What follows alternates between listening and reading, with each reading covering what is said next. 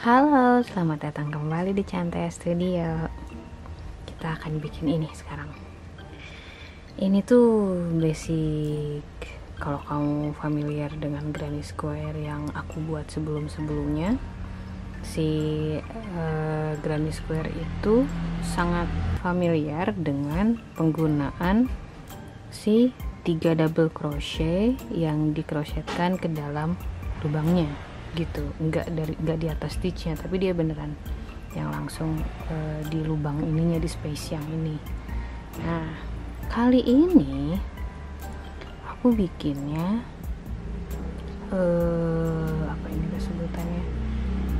Tipe yang di dalamnya bulat terus di bagian atasnya uh, kotak gitu. Jadi kayak bulat menuju kotak gitu nah ini yang tadi malam aku bikin waktu live tiktok. Gitu. Jadi aku masih salahnya masih di sini nih. Nah mana nih nih, nih. aku nggak tahu nih gimana. Kan uh, slip stitchnya di ujung sini dari setiap sudut ini adalah uh, sambungan. Jadi slip stitch di sini nyambung ke sini. Kan itu gimana caranya? Aku bingung tuh. Gitu. Jadi tadi malam tuh masih begini. Terus yang tadi di reels hari ini berhasil. Ini kan sambungan ya? Kelihatan lah digunting di sininya. Tapi dia berhasil tuh nggak yang mengacau kayak si ini gitu. Gitu ya udah kita coba aja. Ini nggak terlalu ribet kok. Tapi ini lucu banget untuk dijadiin cardigan tipe vintage. Cakep nih cakep banget. Dan kalau kelihatan ini cerah banget di sini. Ini posisinya adalah e, tiga warna empat warna ini. Ini juga aku ngambil empat warna. Jadi e, tipenya gradasi gitu. Lucu banget deh lucu banget. Nah contohnya yang aku ambil dari e, aku nggak tahu ini potongan buku dari mana pun aku kurang ngerti tapi di situ dia bahasanya bahasa Prancis gitu. Jadi hmm, kalau kamu ngerti silahkan kalau nggak lihat aja yang ini. Oke okay? kita mulai. Selamat mencoba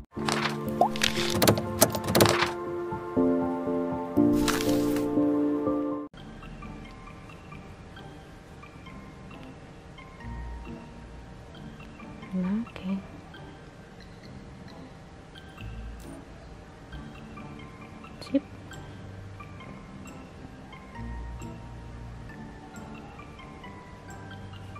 2 chainnya 3 sih.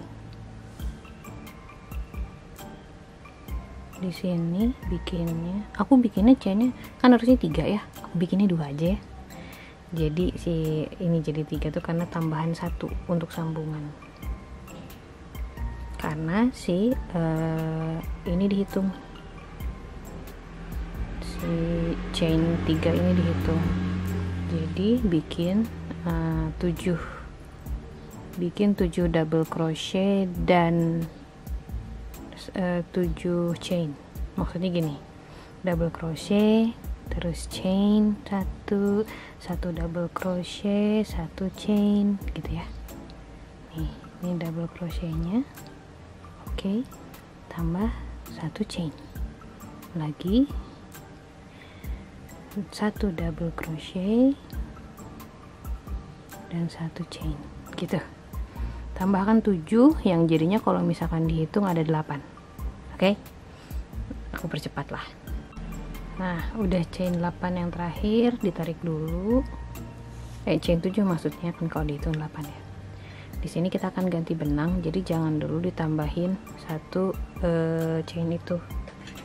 Kalau kamu nyaman silahkan digunting dulu. Kalau misalkan enggak disambungin juga. Ya udah sih. Kita yang kedua pakai warna krem di sini. Karena dia ada tambahan satu chain berarti di sini ya chainnya. Dan slip stitch kita akan slip stitch di lubang ini ya. Di lubang ini karena nanti gini eh, kita akan bikin 8 dan si ini akan ikut ke 3 3 oh, aku bikin dulu deh maksudnya gini supaya enak jelasinnya.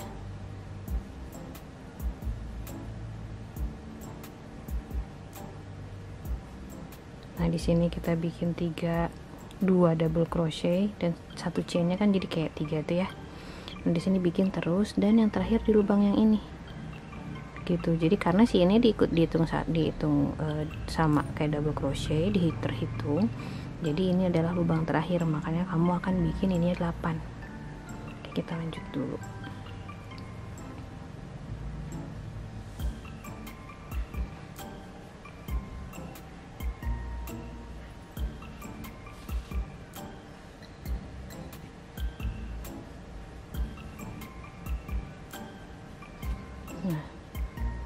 semuanya. Aku uh, aku percepat lagi videonya. Terus kita lanjut yang terakhir ini. Kayaknya barusan aku salah deh. Jangan lupa setiap selesai tiga chain satu. Selesai tiga chain satu. Jadi selesai tiga ini chain satu. Nah sekarang di barisan terakhir ini kita bikin uh, tiga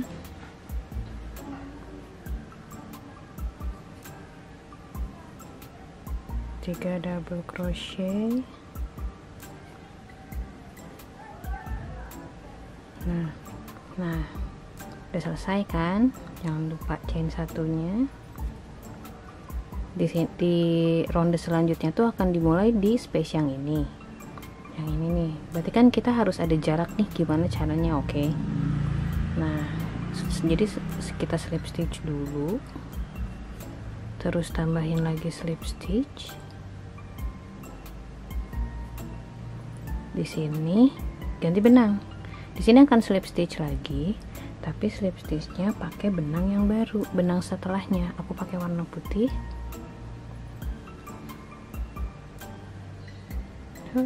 Nah. Udah nih masuk di sini. Si benang sebelumnya udah bisa digunting. Di sininya langsung chain 3 nah di sini kita akan hmm, aku chainnya dua. Sorry sorry. Aku ini dua ya. Kamu tiga nggak apa-apa loh. Nah, di sininya kita akan membuat sudut. Dan semua sisanya kita tarik ke kanan. Eh sorry ke kiri maksudnya. Jadi kayak diikut di ini. Ke dirajut. Oke sudah tiga.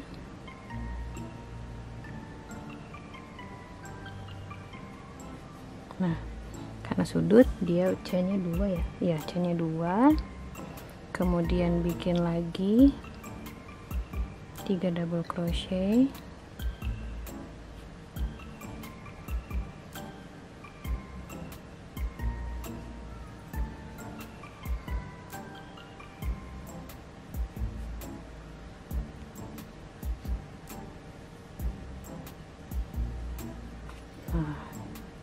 sudah bagian belakangnya bisa ditarik dengan nyaman.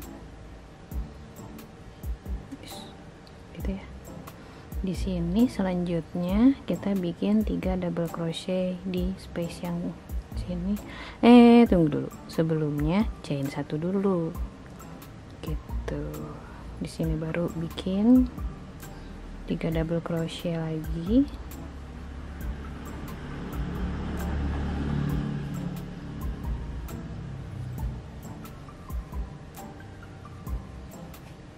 chain satu. Nah nanti akan nah di sini akan bikin sudut tiga double crochet sini sudut tiga double crochet sudut tiga double crochet. Gitu. Jadi dia akan membuat kotak pertama. Gitu ya. Kalau ingin diulang silahkan ulang. Aku percepat videonya. Nah sudah terakhir. Di sini kita tambah chain satu sama seperti sebelumnya. Kemudian slip stitch di sini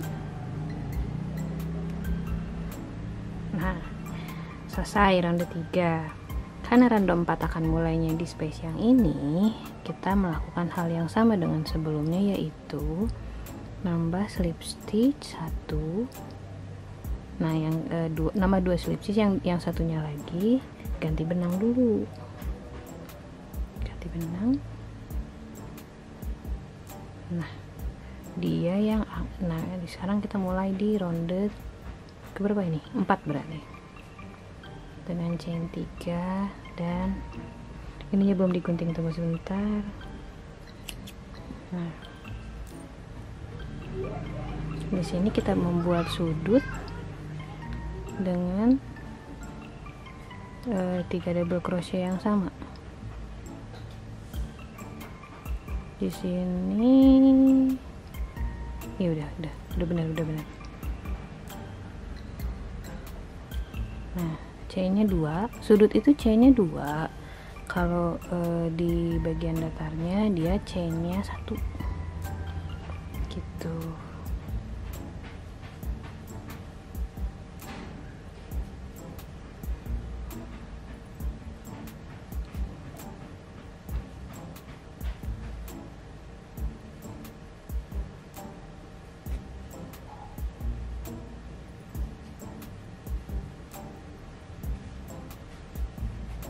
kan? Sudah selesai. Satu.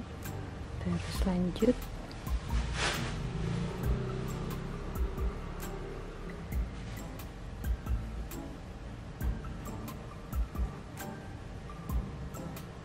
Nah untuk bagian sini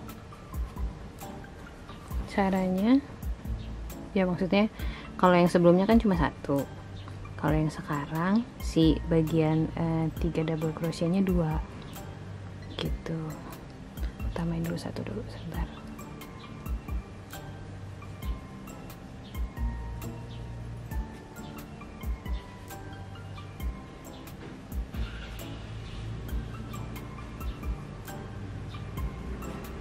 Chain satu. Nah jadi ini sudah selesai uh, sudut. Tiga double crochetnya dua sudut. Dua di sini sudut. Dua sudut. Dua. Gitu jadi silahkan dilanjutkan. Nah selesai. Uh, kita tutup dengan chain satu dan digunting. Karena kita akan membuat seamless slip stitch.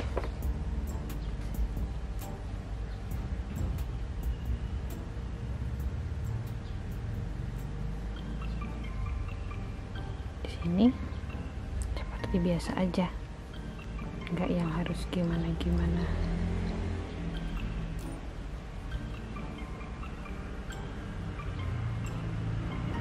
Nah oke. Okay. ini tinggal dirapihkan.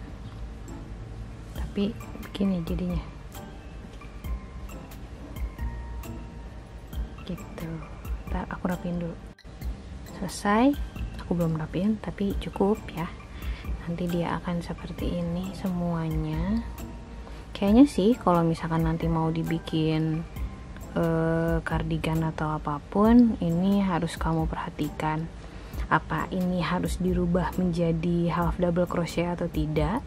Karena kemungkinan dia tidak akan selurus seharusnya. Kalau udah di tuh mungkin mungkin but dibutuhkan mungkin enggak ya tergantung lah. Gitu selesai nih. Kok beda ya? Hong Geding sama. Oke sampai sini dulu granny square nya silahkan dicoba. Ini lucu banget.